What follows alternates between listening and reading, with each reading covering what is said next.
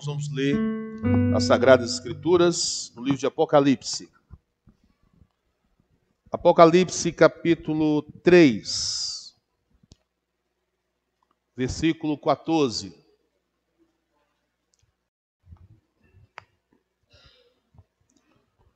Apocalipse 3, versículo 14.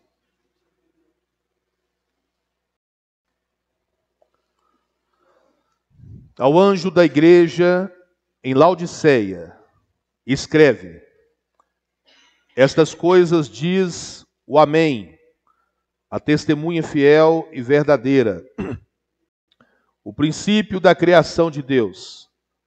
Conheço as tuas obras, que nem és frio e nem quente. Quem dera fosses frio ou quente. Assim porque és morno e nem és quente, nem frio, estou a ponto de vomitar-te da minha boca. Pois dizes: Estou rico e abastado, e não preciso de coisa alguma, e nem sabes que tu és infeliz. Sim, miserável, pobre, cego e nu. Aconselho-te que de mim compres ouro refinado pelo fogo para te enriqueceres, vestiduras brancas para te vestires, a fim de que não seja manifesta a vergonha da tua nudez, e colírio para ungires os olhos, a fim de que vejas. Eu repreendo e disciplino a quantos amo. Sê, pois, zeloso e arrepende-te. Eis que estou à porta e bato. Se alguém ouvir a minha voz e abrir a porta, entrarei em sua casa e cearei com ele, e ele comigo. Ao vencedor dar-lhe-ei sentar-se comigo no meu trono, assim como também eu venci e me sentei com meu Pai no seu trono.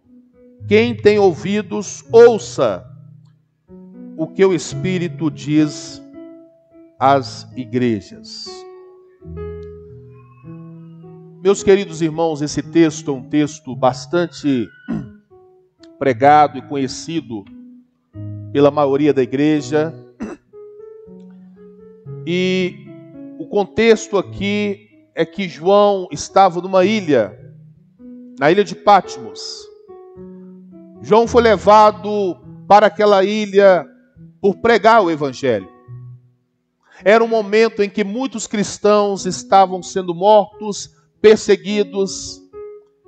E ali João, ele é conduzido, Deus permite que João seja levado para a ilha de Pátimos, porque ali o Senhor iria revelar a João aquilo que era a sua vontade, aquilo que iria acontecer. E João, naquela ilha, ele tem um encontro magnífico, não de um Jesus que ele viu pregado na cruz, não de um Jesus que viu que ele viu sofrendo, ensanguentado. Não. João, quando ele tem a visão do Senhor Jesus, aqui, meus irmãos, ele vê um Jesus glorificado, um Jesus que havia vencido a morte um Jesus que a morte não foi suficiente para vencê-lo, mas ele venceu a morte. E o interessante é que quando você olha no capítulo 2, no primeiro versículo, a palavra fala que João viu sete candeeiros. E viu um, um como semelhante ao filho do homem, que não estava apenas no meio dos candeeiros, ele estava passeando, andando no meio dos candeeiros. Quando João tem essa visão dos sete candeeiros, ele está vendo ali as sete igrejas. Que o Senhor revelaria, faria um diagnóstico de cada uma delas, mas mostrando também que Jesus estava presente na vida da sua igreja. E eu quero dizer uma coisa aos irmãos. Da mesma forma que João viu Jesus passeando no meio da igreja, Jesus nesta noite está passeando aqui no nosso meio. Jesus, nesta noite, ele não está apenas presente no nosso meio, Ele está passeando, Ele está sondando o nosso coração, Ele está aqui presente para consolar, para, para fortalecer, para dar um novo ânimo, para exortar, para trazer o refrigério. O que importa neste culto, meus irmãos, não é a nossa presença, mas é a presença do Salvador. É a presença de Cristo, de um Deus que está glorificado. E o interessante, meus irmãos, que quando o Senhor começa a mostrar a João a respeito das sete igrejas da Ásia. Uma coisa que chama atenção em que todas elas, o Senhor tem uma expressão antes de fazer o seu diagnóstico. Ele diz assim: Eu conheço. Em cinco dessas igrejas, ele fala: Eu conheço as tuas obras. A primeira expressão que João viu Jesus falando sobre as igrejas é que o Senhor conhecia a igreja, que o Senhor conhecia as obras da igreja. Meus irmãos, olha só, nós temos um Deus que nós não podemos esconder nada dele. Nós temos um Deus que ele não fica nada obscuro diante dele. Nada passa desapercebido diante dos olhos do nosso Deus, porque ele conhece todas as coisas. Ele conhece nesta hora, meu irmão, o que você está pensando. Ele conhece a sua vida, aquilo que muitas vezes as pessoas querem esconder de Deus. Querem fechar a porta do quarto e esconder de Deus. O que muitas vezes as pessoas querem é estar amoitando para que Deus não veja. Eu quero dizer que Deus conhece todas as coisas. Não há nada, meus irmãos, que podemos nos esconder do nosso Deus. Não há nada. Não adianta você tentar esconder uma vida que você leva lá fora e que você não leva aqui dentro, porque Deus conhece. Ele é o conhecedor. O homem não tem como esconder de Deus. Nas cinco igrejas ele fala: Eu conheço as tuas obras, eu conheço as tuas ações, eu conheço as tuas atitudes, eu conheço quem tu és. Eu conheço os teus passos, eu conheço a tua caminhada, eu sei o que sai da sua boca, eu sei as suas atitudes no dia a dia, eu sei o que você vive dentro da sua casa, eu conheço toda a sua caminhada, eu conheço o seu levantar e o seu deitar, eu conheço, porque esse é o nosso Deus, que conhece, meus irmãos, principalmente aquilo que está no interior do nosso coração que ninguém vê, que ninguém sabe. Pode ser que no nosso coração tenha coisas maravilhosas, mas pode ser também que no nosso coração há muitas coisas que desagradam a Deus. Então, é, João viu o Senhor Jesus começando o seu diagnóstico daquelas igrejas com essa expressão: Eu conheço. Então saia daqui nesta noite, meu querido, minha irmã, ciente de uma coisa: nada se esconde do nosso Deus. Ele conhece todas as coisas. Ele conhece toda a sua vida. Você pode querer se esconder do pastor. Você pode querer se esconder da igreja. Mas o nosso Deus, o Deus soberano, o Deus onisciente, ele conhece todas as coisas. Ele conhece a sua vida. E agora nós queremos nos ater a esta igreja, a igreja de Laodiceia. Uma igreja, meus irmãos, que a diferença dela para as demais igrejas, em todas as outras igrejas, Jesus ele faz elogios e ele faz censuras. Em todas as outras igrejas, Jesus faz fala algo favorável da igreja, algo bom, mas ele fala também de algo que as igrejas precisavam viver, precisavam se ajustar. Ele censura a maioria das igrejas. E agora, na igreja de Laodiceia, nós vemos um, uma situação diferente. Na igreja de Laodiceia, Jesus não faz nenhum elogio, só censura. Jesus olha para essa igreja e ele não consegue enxergar nada nessa igreja que pudesse ele elogiá-la que ele pudesse trazer uma palavra de elogio para aquela igreja. Pelo contrário, Aquilo que Jesus vê naquela igreja, meus irmãos, foi suficiente apenas para ele censurar essa igreja. Essa igreja, por incrível que pareça, apesar de Jesus censurá-la, era uma igreja que se achava, pela sua autoavaliação, uma igreja muito abençoada, uma igreja rica. Ela dava nota máxima para si mesma. Ela dava uma condição maravilhosa para si mesma. Era uma autoavaliação que ela fazia de si mesma. Por isso que aqui no versículo no versículo 37, se eu não me engano, fala assim: "Pois dizes: estou rica e abastada". Para essa igreja, ela era rica e abastada. Eu não preciso de nada. Eu tenho tudo. Eu tenho tudo de Deus, eu tenho tudo que eu preciso, eu não preciso de Deus, eu não preciso de nada. Meus irmãos, olha só. Há muitos crentes nesta hora que estão vivendo isso. Porque a igreja de Laodiceia é o diagnóstico da igreja dos nossos dias.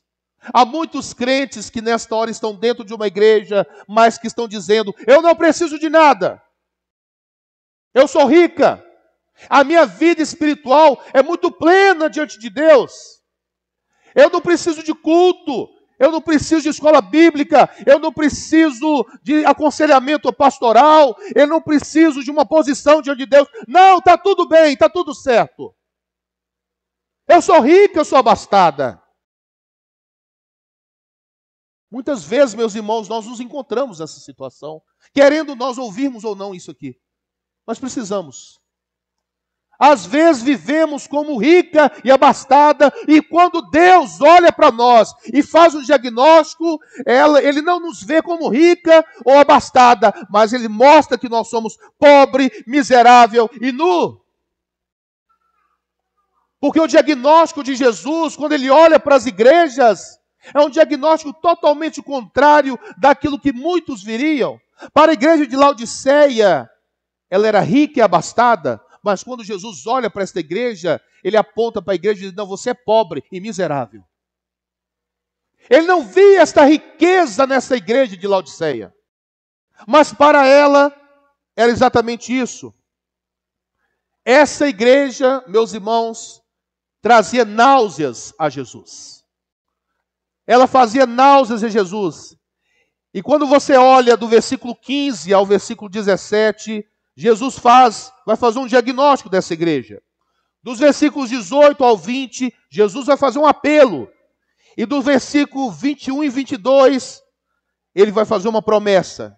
E talvez alguns aqui podem, perguntar, pastor, mas por que Jesus usou algumas figuras de linguagem aqui? Por que ele usou a palavra quente? Por que ele usou a palavra morno? Por que ele usou a palavra fria? frio, porque ele usa a figura das vestes brancas, do ouro puro, do colírio. Será que é por acaso? Meus irmãos, nada na palavra de Deus é por acaso.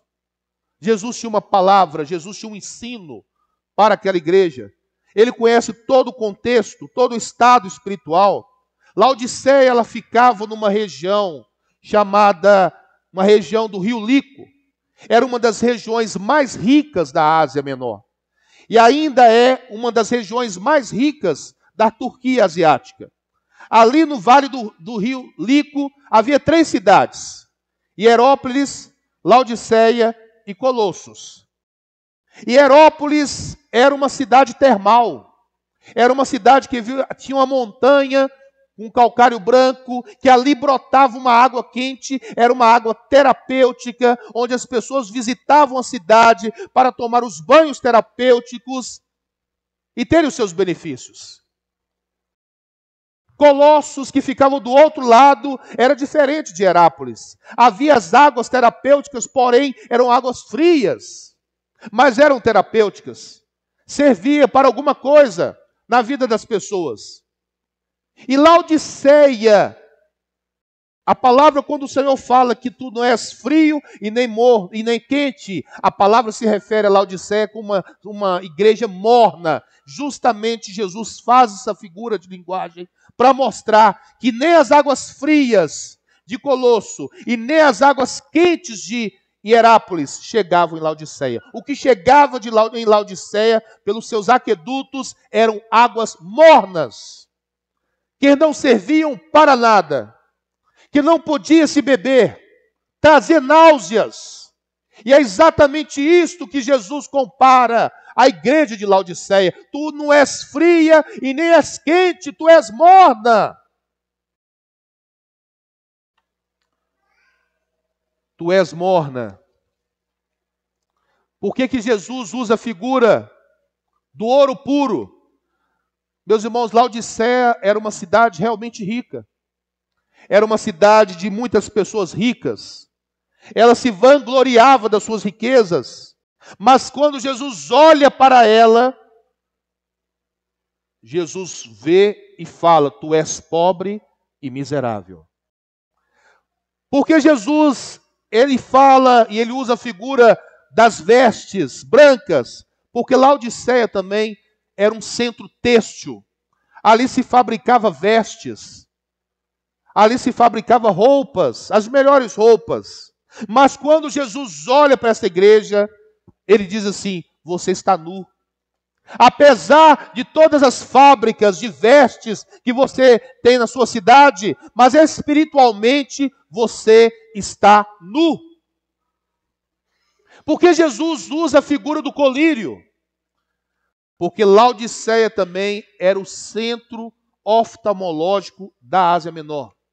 Ali se produzia uma substância, era um tipo de um remédio milagroso para os olhos. Então, Jesus diz assim: vocês se orgulham dos vossos tratamentos, mas espiritualmente você está cega. Meus irmãos, veja só o diagnóstico que Jesus faz dessa igreja.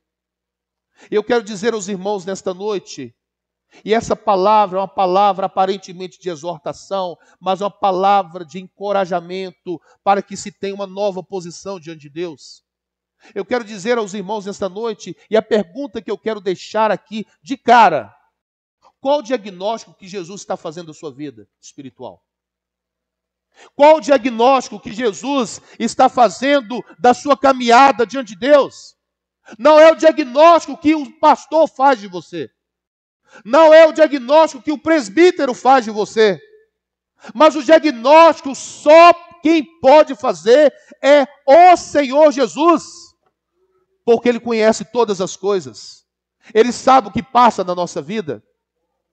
A igreja que mais causa sofrimento em Jesus, causava náuseas em Jesus.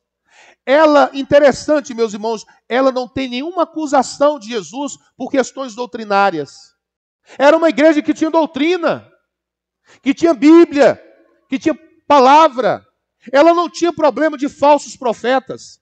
Ela não tinha problema de falsos mestres. Ela não tinha doutrina de, de Balaão. Ela não tinha doutrina dos Nicolaitas. Ela não tinha doutrina de Jezabel, que o Senhor fala para as demais igrejas. Ela não tinha isto.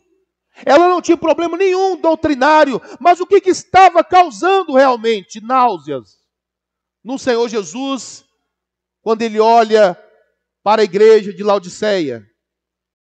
Hoje, meus irmãos, a igreja de Laodiceia seria uma igreja moral e eticamente perfeita. Ela era uma igreja rica, mas ela, Jesus olha para essa igreja e diz: Você está pobre.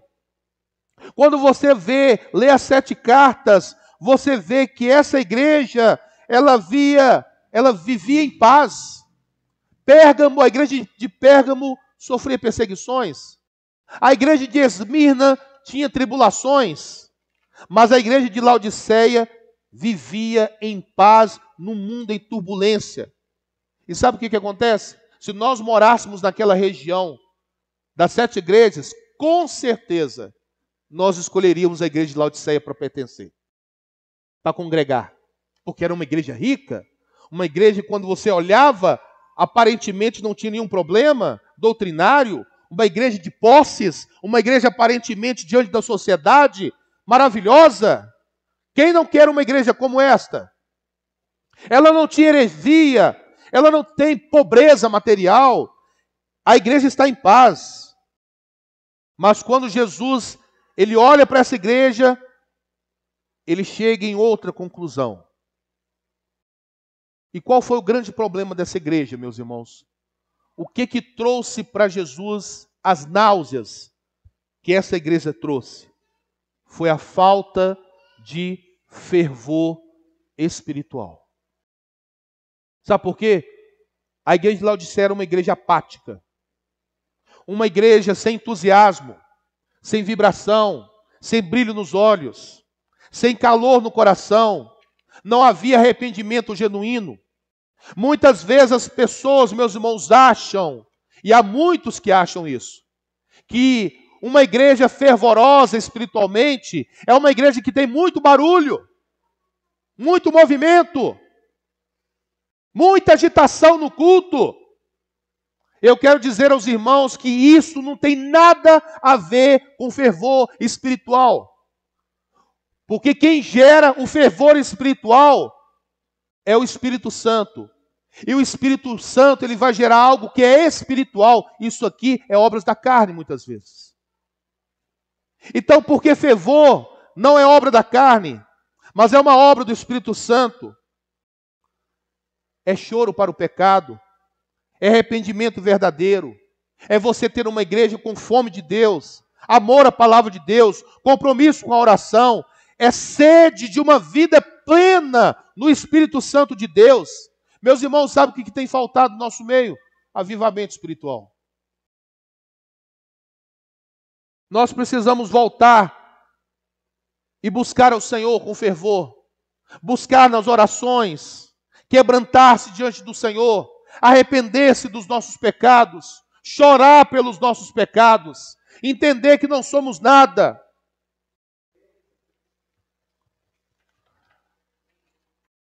A igreja de Laodiceia, ela não tinha nenhum compromisso com Deus.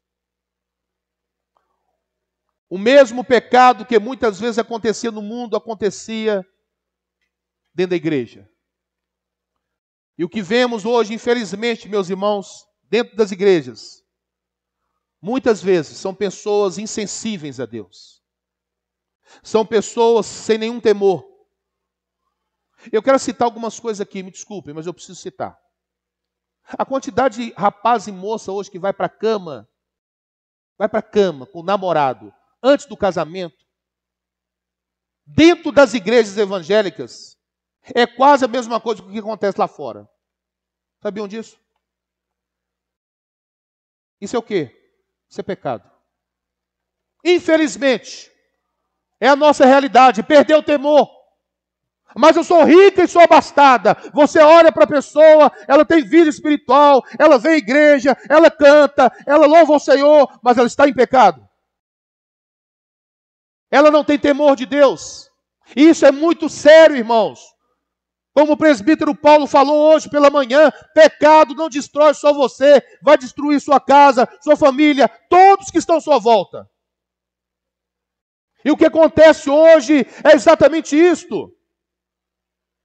A igreja dos nossos dias, meus irmãos, perderam muitas vezes a ética, a ética, a espiritualidade. Jesus ele faz esse diagnóstico para a igreja de Laodiceia, porque ela precisava voltar à piedade, ela precisava voltar ao primeiro amor, ela precisava voltar à palavra.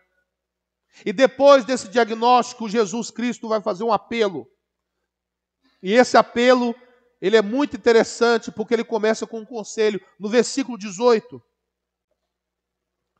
a palavra fala assim: Aconselho-te que de mim compres ouro refinado pelo fogo para te enriqueceres. Jesus aqui ele traz um conselho inicialmente. Ele poderia dar uma ordem, porque ele era o Deus. Ele, se ele quisesse estabelecer uma ordem, ele daria uma ordem para aquela igreja, diante da condição daquela igreja, mas ele traz um conselho. Aconselho-te que tu compres de mim. Jesus tinha um produto para vender. Jesus, meus irmãos, tinha um produto essencial, era um preço, o preço desse produto era de graça. Ele daria de graça para aquela igreja.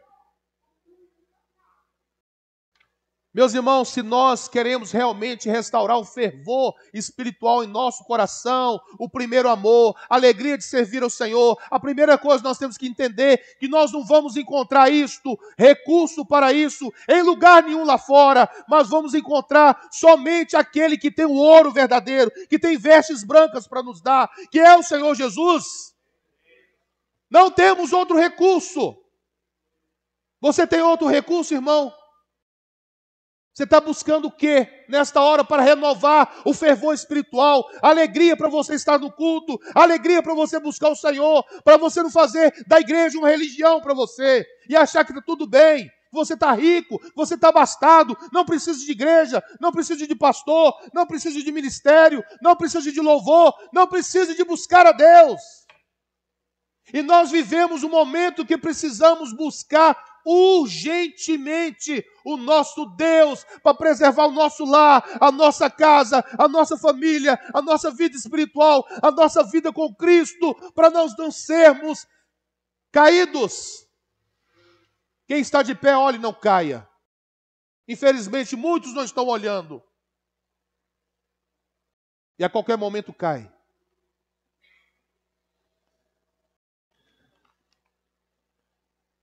Quantas pessoas querem buscar um avivamento, uma vida plena com Deus, mas que vão à procura de muitas coisas aí fora. Há muitas coisas aí fora, viu, irmãos? Que estão sendo apresentadas para a pessoa ter uma vida espiritual. É sal grosso, é água ungida, é toalha suada, é comprar lote no céu, é a chave do céu, essas bobagens, essas tolices que as pessoas acreditam e que não vão levá-las para o céu. Vou repetir: não vai levar ninguém para o céu. Isto aqui. O único que pode levar você para o céu, se você se arrepender do seu pecado, se você se entregar a Ele, é Jesus Cristo, porque somente Ele morreu na cruz por mim e por você. Somente Ele. Ninguém mais pode te levar para o céu além dele. Às vezes as pessoas estão buscando revelações absurdas eles querem um anjo para estar tá do lado deles, para fazer alguma coisa. Olha, se eu não tiver isto, se eu não ver isso, eu não vou servir a Deus. Eu, para me caminhar, eu preciso ver um anjo do meu lado, eu preciso que Deus faça isso por mim. Não, querido. Deus já fez tudo. A sua palavra, o cânon já está fechado, está aqui, ó. O que você precisa de Bíblia? O que você precisa é desse livro aqui, porque aqui está a boca de Deus, está a voz de Deus, e quando nós lemos a palavra de Deus, Ele está falando conosco, Ele fala ao seu coração. Você crê nisto? Você está crendo que a palavra de Deus ela é suficiente, ela é inerrante? Você crê? Aqui nessa igreja que nós vamos precisar dessas coisas não. O que nós precisamos aqui nessa igreja é só de uma coisa: da palavra de Cristo, que está diante de nós. A palavra fala assim: olha, aconselho-te que compre de mim. Meus irmãos, Jesus é o único que pode trazer um coração aquecido, que pode reavivar a sua igreja que pode derramar o seu espírito sobre a igreja, que pode levantar o seu povo. É o Senhor Jesus. Ele é o remédio da igreja, ele é o salvador da igreja, ele é o Senhor da igreja, ele é a resposta da igreja. E só nele nós podemos experimentar um avivamento espiritual. E no versículo 19, a palavra fala assim: ela tem uma declaração e logo depois uma ordem para dar. Eu repreendo e disciplino a todos quanto amo. Jesus estava com náuseas dessa igreja. Mas por que, pastor, Jesus está pegando tão pesado com essa igreja? Eu vou fazer até outra pergunta. Por que será que Jesus está tá pegando tão pesado comigo e com você nessa noite? Meus irmãos, nós precisamos ter a consciência que Deus, Ele tem falado com a sua, através da Sua palavra. Por que, que Deus está pegando tão pesado conosco, talvez, neste culto? Um culto de ceia, pastor. Eu queria ouvir outra palavra, outra mensagem, uma mensagem de consolo, de refrigério, mas a palavra que Deus quer que você ouça nesta noite é: você, querido, está me trazendo náuseas. Você precisa mudar a sua vida. Precisa ter vida espiritual. Meus irmãos, no meio de uma igreja você encontra todos os tipos de pessoas. Você, você encontra pessoas com fervor espiritual, que amam a palavra, que amam o culto, que buscam a Deus, que estão lutando para servir a Deus. Você encontra pessoas capengando espiritualmente também, tropeçando espiritualmente. Não fica de pé de forma alguma. Você acha que vai e volta. Você acha que vai e retorna, retrocede. E você também tem outro grupo de pessoas que estão no pecado. Essa é a realidade de todas as igrejas. Esses três grupos de pessoas. Pessoas que buscam a Deus, que estão é, servindo a Deus com coração sincero, que estão fervorosos espiritualmente, têm vida espiritual. Pessoas que estão capengando espiritualmente, estão tropeçando espiritualmente, não estão de pé espiritualmente, e pessoas que estão no pecado. Qual grupo que você se coloca? Qual grupo, irmão, irmã, que você está? Qual condição que você está diante de Deus? Qual o diagnóstico que Deus está fazendo dessa igreja aqui nesta noite? Qual o diagnóstico que Deus está fazendo de mim e de você? Qual que é o diagnóstico? Não, estou rica, estou abastada, você está muito bem. Você não precisa de igreja, você não precisa de culto, você não precisa de nada. E sabe por que, que Jesus aqui nesse texto ele fala assim: Eu repreendo. Era uma repreensão que ele estava fazendo. Jesus não estava brincando, ele estava repreendendo. Sabe quando você é pai, você repreende o seu filho, às vezes duramente, às vezes você fala para o seu filho coisas que ele não quer ouvir, porque é uma repreensão. É a mesma coisa que Jesus está fazendo aqui com essa igreja. Olha, é assim que eu quero que você me sirva. Eu quero que você tenha vestes brancas. Eu quero que você tenha uma vida, o ouro refinado, que somente eu posso te dar. Eu não quero que você seja morna. Sabe por que ele faz isso? Sabe por que ele repreende a mim e a você, irmão? Porque ele nos ama. Porque ele nos ama. Jesus jamais desistiu de mim e jamais desistiu de você. Ele não abre mão da sua vida, querido. Jesus não quer abrir mão da sua vida. Sabe por quê? Só ele foi na cruz, morreu na cruz, ressuscitou, venceu a morte, derramou seu sangue, sofreu para te salvar, para te resgatar, para te redimir, para te colocar na presença dele, para você não ter o seu casamento destruído hoje, para você não estar no pecado, nas drogas, na violência, na prostituição. Não, eu não vou desistir de você, porque eu te amo. Eu te repreendo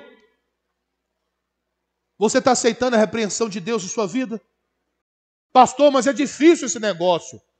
É difícil, mas é necessário muitas vezes na nossa vida.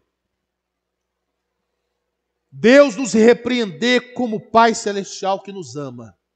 E que privilégio nós temos, meus irmãos. Eu fico desesperado na minha vida particular, eu fico desesperado como pastor.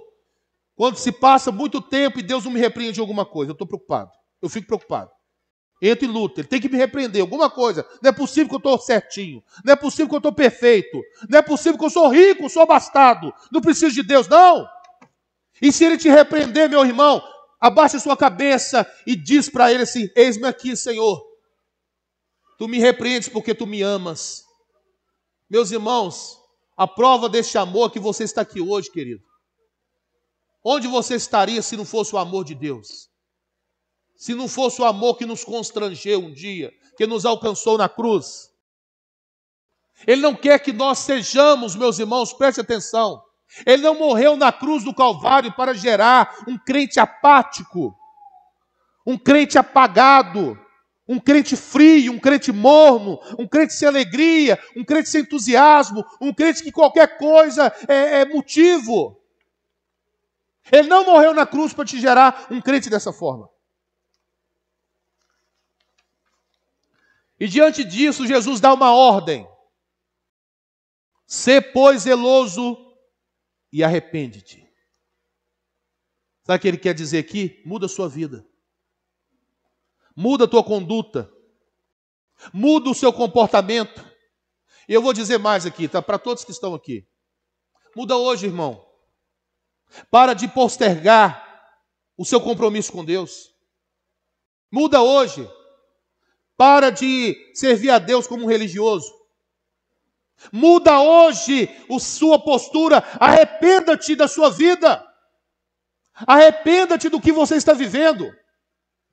Arrependa-te, mude a sua vida, porque o arrependimento é uma mudança de rumo, de direção. Infelizmente, meus irmãos, há muitas pessoas que estão num rumo, e esse rumo que elas estão, elas vão cair no abismo.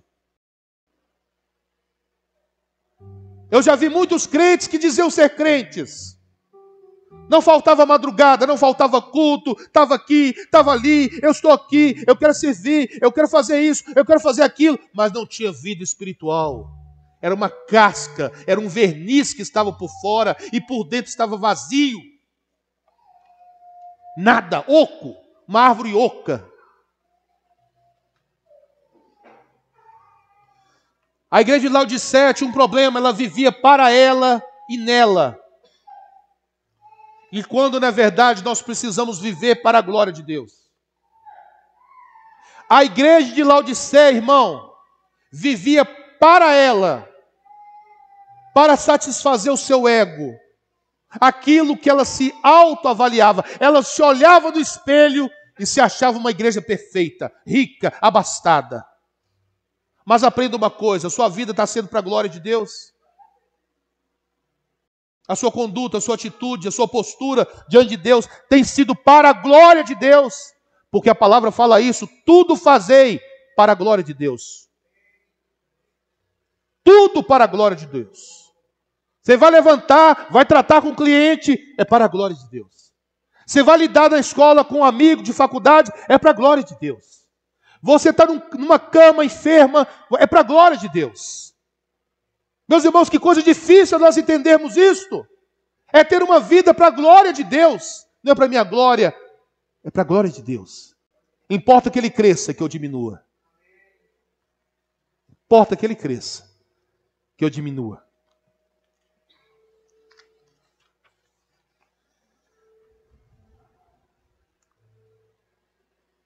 Palavra fala assim: Eu repreendo disciplina a quantos, a quantos amo Se, pois, zeloso e arrepende-te. Versículo 20. Eis que estou à porta e bato. Preste atenção. Se alguém ouvir a minha voz e abrir a porta, entrarei em sua casa e cearei com ele e ele comigo. Sabe qual é o problema aqui?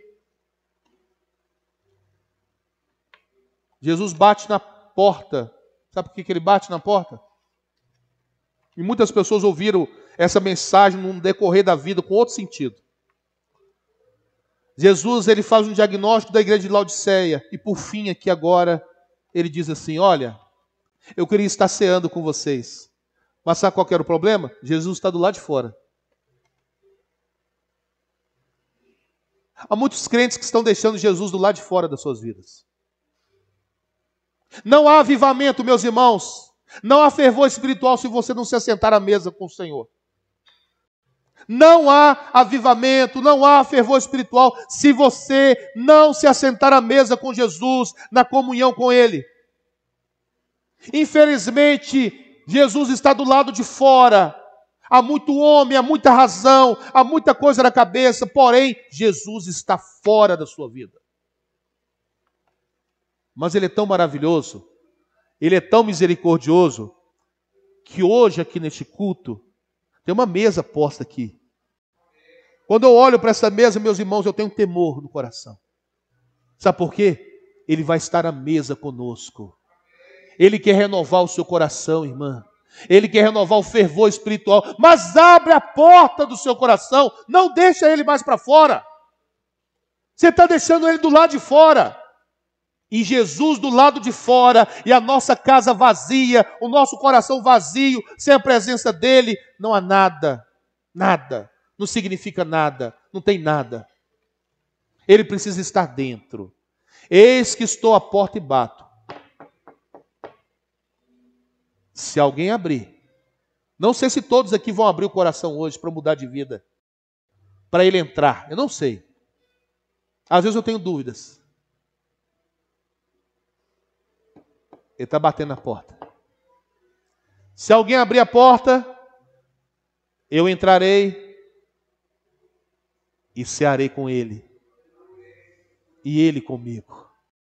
Meus irmãos, não tem algo mais maravilhoso do que nós estarmos à mesa com o nosso Salvador,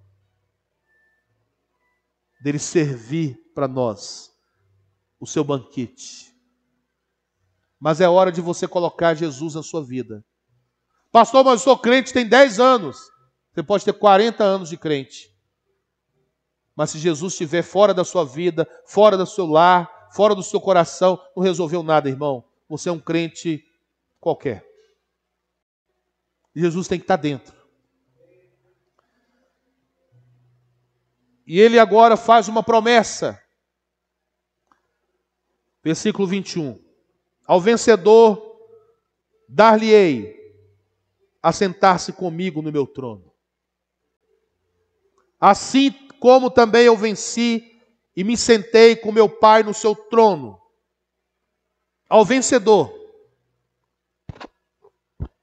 você só vai vencer se Jesus estiver presente na sua vida. Você só vai vencer se houver arrependimento e lágrimas pelo pecado. Você só vai vencer se você reconhecer que você é pobre e miserável, mas que há um Deus que te ama, que te repreende hoje. Essa palavra que hoje, meus irmãos, é uma repreensão de Deus para nós. É para nós acordarmos para a Sua presença. É para nós não sermos crentes apáticos, crentes descompromissados, crentes preocupados com tantas coisas lá de fora e menos preocupação com as coisas de dentro, crentes preocupados com as coisas desta vida, mas que não estão olhando para o céu, para o reino. Infelizmente, nem todos gostam de ouvir isso, mas eu preciso falar. Precisamos nos despertar, essa igreja aqui. Há muitas pessoas que precisam se despertar para ter vida espiritual diante de Deus. Infelizmente não tem vida espiritual. A igreja é um lugarzinho que vem, volta e acabou. Não podemos ser assim, irmãos. A igreja de Laodiceia tinha isso, esse sentimento dentro dela. Eu estou muito bem, pastor. Eu estou muito bem, Senhor. Eu estou tudo certo, eu estou rico, eu estou abastado. Eu tenho tudo. Não preciso de nada. Quando na verdade o povo de Deus, ele fala aqui que o salmo que Davi fala nos seus salmos. Davi era rico também? Era. Ele era rei rico, tinha sua glória, tinha os seus palácios, seus exércitos, os seus cavalos de guerra, tinha um exército poderoso, era um homem de guerra, era um homem muito bom. Porém, em um dos seus salmos ele fala assim: Eu sou pobre e necessitado. Você é crente? Sou pastor, então reconheça que você é pobre e necessitado. Reconheça isso, irmão. Para de achar que você é a, é a, é a, é a nata. Para de achar que você é o bonzão. Para com isso. Aqui ninguém é nada. O que nós somos, somos no Senhor Jesus. O que temos, nós temos nele. O que fazemos é para Ele. Tudo para a glória dele. Eu sou pobre e necessitado. O crente que tem essa consciência, que ele é pobre e necessitado, ele pode dizer o final do versículo: Mas o Senhor cuida de mim. Meus irmãos, nós temos um Deus que tem cuidado de nós. Louvado seja Deus por isso. Ele tem cuidado de nós. Apesar das nossas mazelas, de crentes muitas vezes que temos sido diante dele, ele tem cuidado de nós, porque ele não desistiu de nós. Não desistiu da minha vida e da sua vida. Ele luta, ele repreende, ele aconselha que tu compres dele o ouro, porque só ele tem fervor espiritual para a nossa vida. Somente ele pode fazer isso. E o final, ele traz uma palavra. Quem tem ouvidos, ouça o que o Espírito diz às igrejas. Meus irmãos, olha só. Quando você olha para a Europa, você vê hoje muitas igrejas centenárias, evangélicas, fechadas. Igrejas que se transformaram em bares, em boates. Igrejas em que antigamente você via crianças, você via é, crentes fervorosos, crentes servindo a Deus, uma escola bíblica lotada de pessoas louvando a Deus, aprendendo a palavra. Você vai lá hoje, você vê igrejas vazias, igrejas capengando espiritualmente. Sabe por quê? Quando você olha as igrejas do Brasil, a igreja evangélica brasileira, você vê uma igreja muitas vezes né, com muita agitação, muito movimento, muitas palmas, muitas coisas, e não temos nada contra isso. Mas que infelizmente não tem fervor espiritual.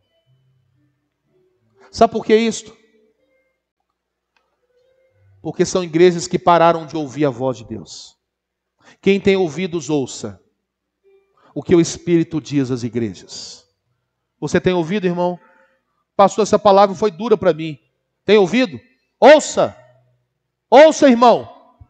Coloca sua vida em ordem. Você vai cear com o Senhor daqui a pouco. É hora de você se arrepender do seu pecado. É hora de você ter uma vida mais fervorosa diante de Deus, buscar mais a Deus, não ser um crente religioso, servir mais a Deus. Não é só bater ponto na igreja e ir embora, não. É você ter vida, caminhada, fervor, vida espiritual diante de Deus.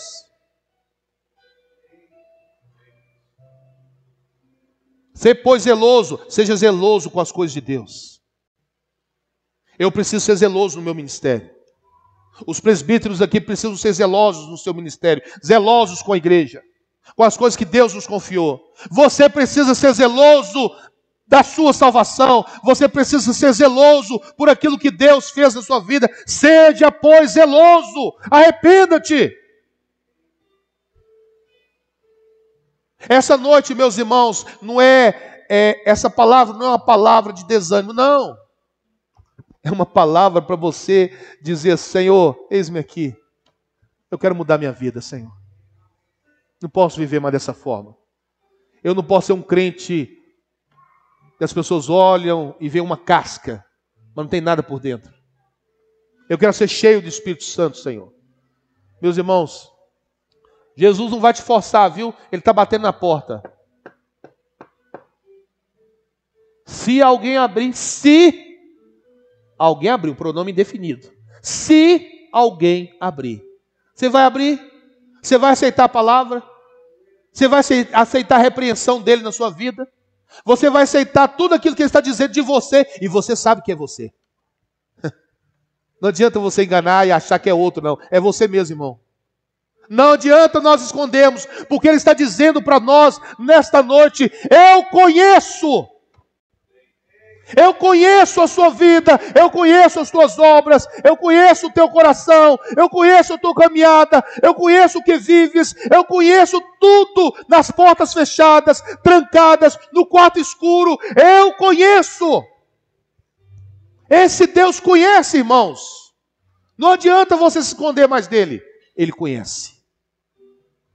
Sê, pois, zeloso, arrependa-te quem tem ouvidos, ouça o que o Espírito diz às igrejas. Louvado seja Deus.